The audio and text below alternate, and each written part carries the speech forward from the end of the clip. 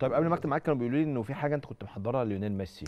آه نعرضها يا ميسي، آه الأرقام. ليونيل ميسي في, في, كأس العالم. إحنا آه. بنتكلم على ليونيل ميسي واحد من من اللعيبة المنتظرة في, في في البطولة. أول مشاركة ليه في كأس العالم ودع البطولة. طبعا أرقام ليونيل ميسي في كأس العالم يمكن هي الأقل في كل البطولات. مم. هو ليونيل ميسي ست أهداف في كأس العالم مع المشاركات ال- الأخيرة ليه. ولكن الناس كلها بتقول إن ليون- ليونيل ميسي في البطولة الجاية هي البطولة اللي هيثبت فيها هو مش محتاج يثبت أي حاجة. فاحنا بنتكلم على لاعب عنده 34 سنة حقق كل حاجة في الكورة. بنتفرج عليه دلوقتي مع باريس يمكن الأرقام شوية تقول إن لي- ليونيل ميسي استعاد آه، جزء كبير من مستواه. أنا اتفرجت على مباريات باريس 90 دقيقة. اللي يتفرج على 90 دقيقة.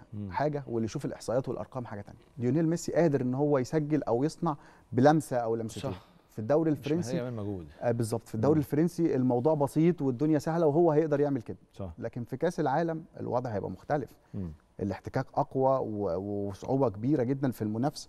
فاحنا بنتكلم على لي- ليونيل ميسي هو مجهوده البدني يعني قل كتير بيتمشى في وقت كبير جدا من من المباريات. مم.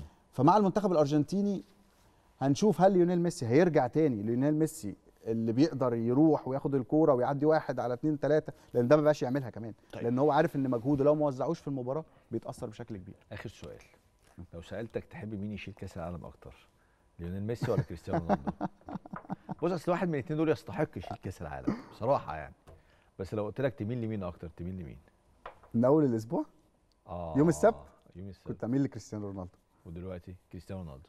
عشان خاطري عشان خاطر افوت لك حاجة. مش ميسي يعني أنا أنا مش من team ميسي يعني أنا كنت آه. team كريستيانو. لا على فكرة أنا بقى أنا أنا بعشق كريستيانو. آه. وأنا من ال team بتاع كريستيانو مش ال team بتاع ميسي.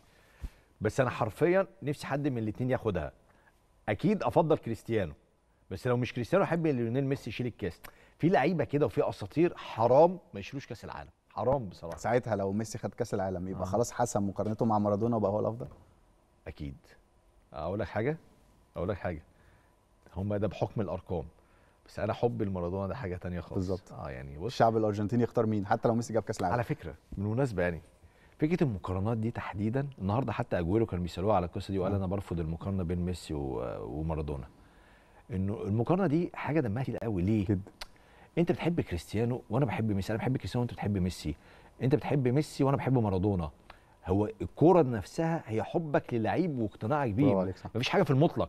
يعني مثلا بيسألوني مين أسطورتك في كرة القدم على مر التاريخ؟ بقول لهم زين الدين زيدان.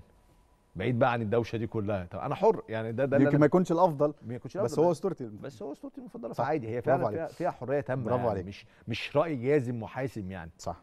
زي ما بيقول لك مين النجم الأفضل في تاريخ الكرة المصرية تلاقي تلاقي خناقات يا جماعة بتتخانق ليه حب إن شاء الله تحب محسن ممدوح أي حد أي في ناس يعني في ناس يعني محمد صلاح مكسر الدنيا لكن في ناس آه. اتفرجت على كابتن محمود الخطيب وبتشوف طبعاً. إن هو يعني ما جاش زيه في كرة القدم المصرية جماهير من زمان تقول لك شيكابالا هو رقم واحد في طبعاً. تاريخ الكورة في واحد يقول لك حسن. شحاته في واحد يقول لك. خطيب طاهر أبو زيد يقول لك كان أحسن.